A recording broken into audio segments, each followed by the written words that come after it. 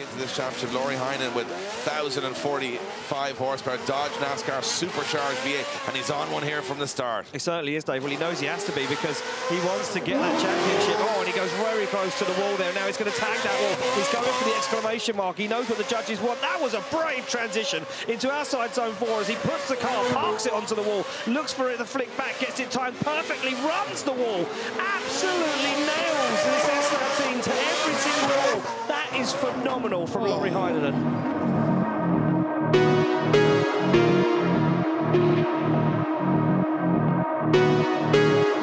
Leader, but we've got to disperse of Timur Lipski from the off. This is getting dramatic, right? And look at Timur Lipski. He doesn't care. He's going straight for it here. Unbelievable chase run so far from Timur Lipski. All the championship hopefuls are being discarded by all of these up-and-comers. Well, this is the weekend to make your move, Dave. If you want to make a name in the championship, why not get rid of every single championship contender in the round five right before we head to the biggest event in the world? And look at this from Lipski. He gets on the door and he says to Lahainen, and I don't care. Goes into that 16, he automatically jumps way up in the championship and it opens the championship back up again. But look at this from the young Ukrainian as he fires that brand new A90 carbon Kevlar Supra to the wall and tries to start to open up a bit of separation. But Heinonen's going to play the long game here. He's going to wait for the transition into that long outside zone, and he does. And now he starts to make a rain, starts to get onto the door. They transition back, but Heinonen misplaces the car, and now he's going to have to work really hard to get back onto the door as he works his way door and across the line.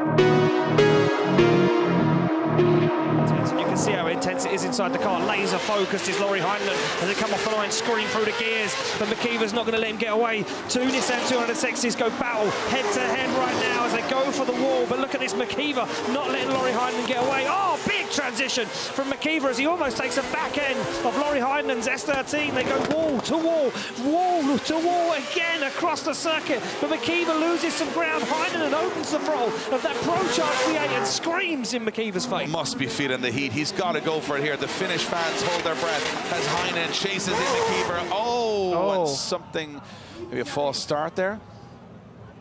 Maybe a false start. Heinonen, when- once he overtook McKeever, went, that's a little too aggressive, Heinonen. the, the Heinonen went to initiate. He fully clutch kicked the car. Oh, and, and McKeever throws his arm out the window as if to say, I can't believe it.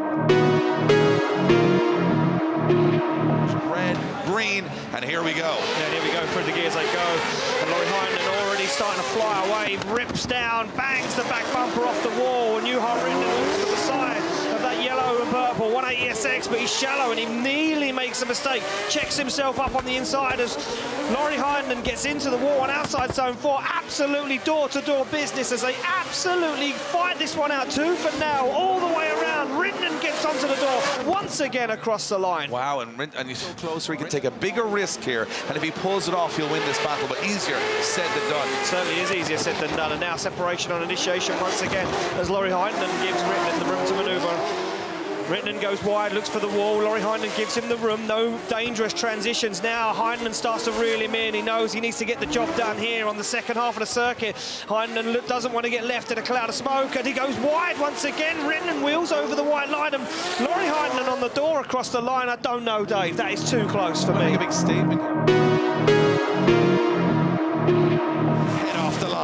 we go, through the gears they go. Shanahan won't, won't want to let Lauri Heinonen get away, and he doesn't right now as Heinonen fires down to outside zone. Conor Shanahan onto the wheel, onto the front wheel, onto the door. He's all over the side of that yellow and purple S13. They transition across the circuit. Heinonen is an absolutely pinpoint perfect. And look at Shanahan though, not an inch between them as they come across the circuit into outside zone five. Shanahan wants this more than ever. He wants to be the leader of the championship, and Heinonen absolutely nails it. A minute ago, and I don't even want any part of this.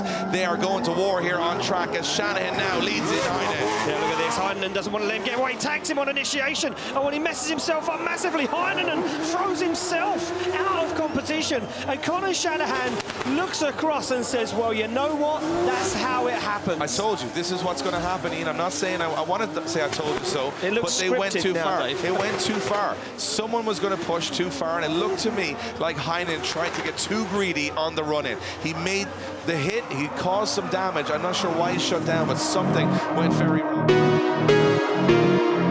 and he knows that Pesur will want that third step on the podium, but Heinonen needs it more than anyone right now. They're through the gears down. Big initiation from both guys. Pesur looks for the side. And Heinonen's S13 18 as they fire through the first three outside zones. Contact onto the front wheel as they now transition into that long outer zone. And you can see Pesur still hunting down the side of Lauri Heinonen's S13. He goes to the wall. He gets there clinically. But Pesur is with him. He's on the side. He's on the door. He's all over him. Pesur is in the lead. It's Estonia versus Finland. And Pesur is ready to party. Heinonen's coming for it. The wing flies off Yeah, look at this. Pesur absolutely hunting down the outside line. He goes for the wall, but Lauri Heinonen's with him. He won't make that mistake that he made before. Now he dives across the track into that long outside zone. They go wheel to wheel. Heinonen tucks up right up onto the front wheel with Kevin Pesur's BMW as they transition down into the last outside zones. A little separation. Heinonen squeezes the throttle though and applies the pressure. Oh, that's very good from Lauri Heinonen. Very, very good. Like he stayed with him the whole track.